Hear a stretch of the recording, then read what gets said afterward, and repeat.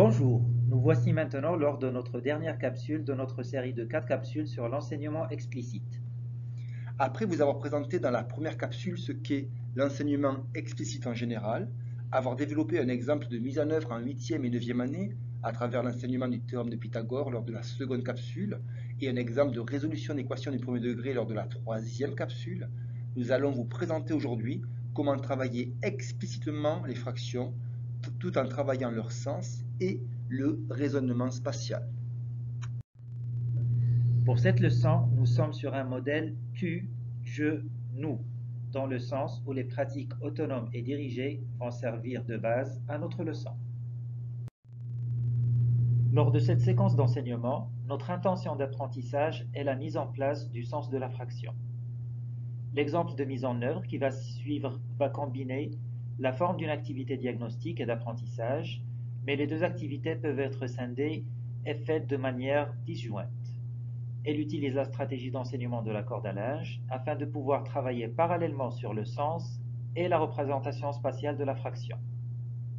Cette leçon va se faire par groupe et elle permet aussi de cibler deux HAHT, qui sont la communication et la collaboration, dont les critères attendus peuvent être travaillés en début de séance avec les élèves. L'ouverture de la leçon va se faire en classe entière avec une question extraite d'une image. Combien de pastèques voyez-vous afin de remettre en place le concept de fraction et ses notations au besoin?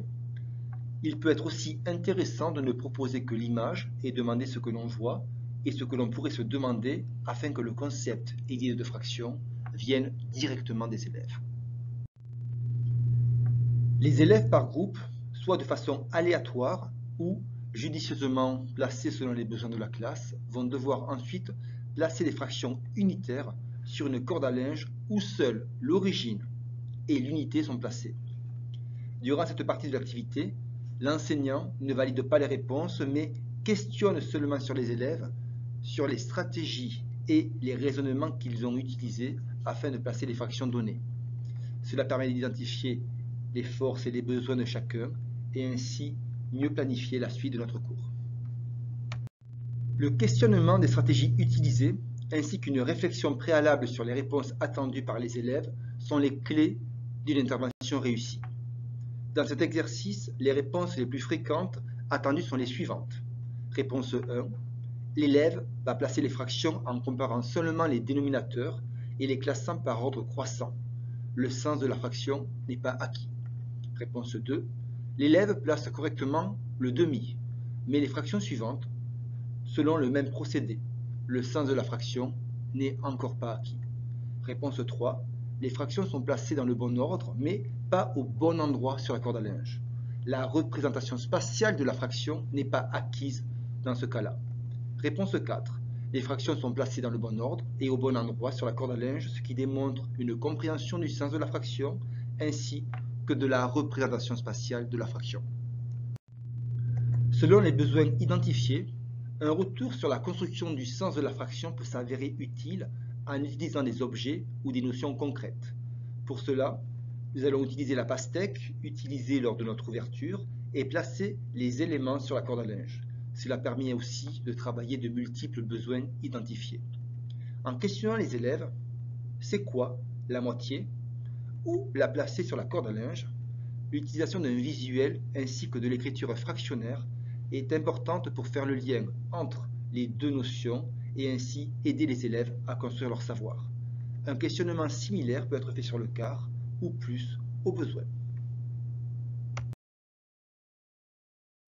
Le point sur la notion ayant été fait, chaque groupe peut être renvoyé sur sa corde à linge afin de corriger le travail qu'il a fait l'enseignant apporta un questionnement répondant aux besoins identifiés selon les réponses fournies initialement, à savoir, pour les réponses 1 et la réponse 2, le questionnement sera fait sur le sens de la fraction et aussi sur le raisonnement spatial. Sur la réponse, ou plutôt sur la réponse numéro 3, le questionnement va porter cette fois-ci sur le raisonnement spatial uniquement.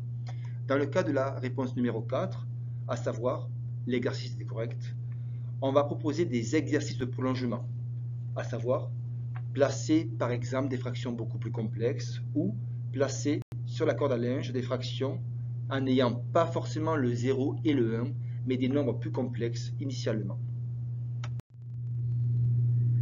Cette activité peut avoir de multiples prolongements possibles.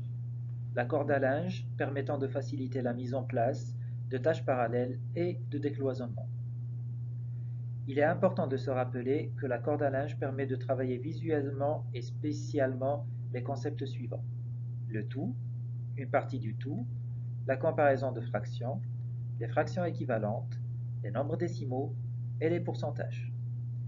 C'est une stratégie puissante pour travailler et consolider les liens entre les différentes représentations d'un nombre, d'un nombre, c'est-à-dire la fraction, le nombre décimal et le pourcentage. Certains logiciels informatiques comme Matisse permettent de travailler ces notions interactivement et peuvent être un complément intéressant à la, manipulation faite en salle de classe. L'objectivation peut prendre différentes formes. Un format que nous vous proposons est par exemple un questionnement sur les apprentissages, sur les apprentissages essentiels ou un billet de sortie avec une grille d'auto-évaluation incluant les HAHT. Nous espérons que les quatre capsules proposées vous ont été ou vous seront utiles. Dans tous les cas, un grand merci pour votre écoute. Si vous avez des questions concernant la mise en œuvre de la séquence qui vient d'être proposée ou si vous désirez des informations complémentaires, n'hésitez pas à nous contacter via AidePédago. Merci et au revoir.